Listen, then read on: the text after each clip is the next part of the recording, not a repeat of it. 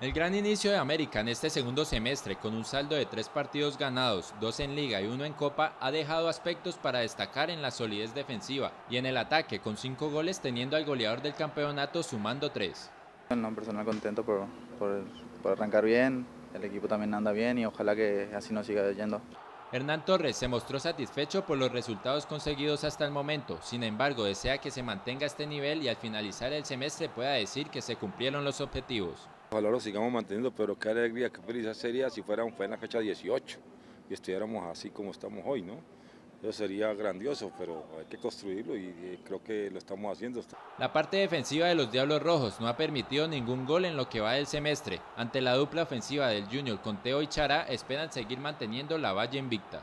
Hay que seguir mejorando, nos están llegando mucho, pero bueno, hemos sabido controlar ese arco y bueno, esperemos de que de que día a día con el trabajo de los profes eh, en el partido se, se vea mucho mejor el, acoplamiento defensivo para nosotros. Vamos a enfrentar un, un, difícil rival como lo es Junior con excelentes jugadores que te van a complicar, pero nosotros eh, confiando en nuestro trabajo, confiando en lo que venimos haciendo, vamos a sacar un resultado positivo en Barranquilla.